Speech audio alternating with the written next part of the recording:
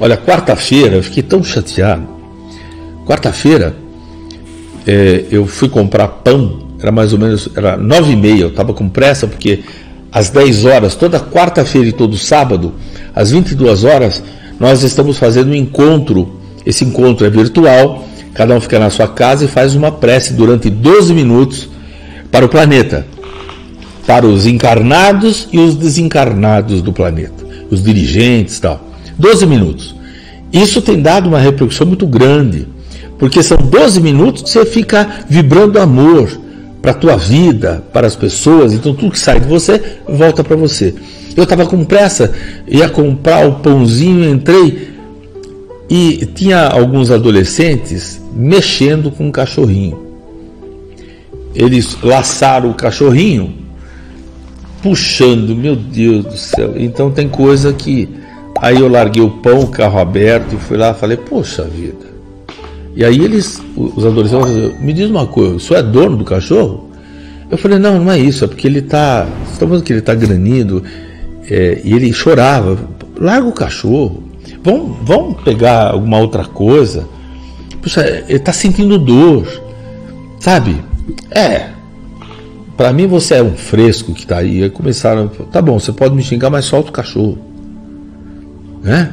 Então, existem seres que parece que é, não são humanos, né? Tem coisas, brincadeiras, judiam da, da, da, das coisas, pegam uma rosa, não sei para quê, tiram um pétalo. Então, existem coisas que, né?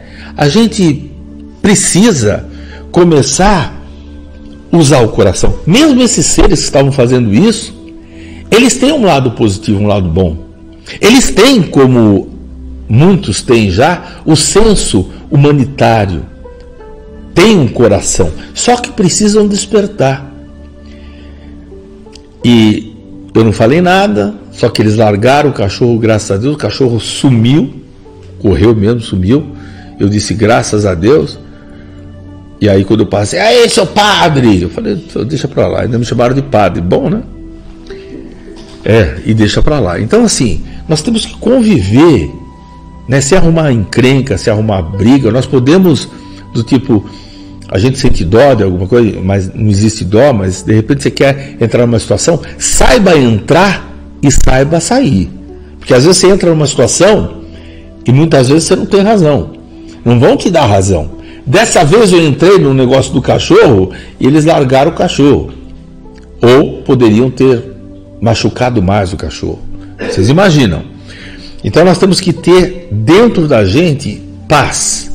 Sempre pelo melhor sempre pela paz. Nada vai acontecer como você quer.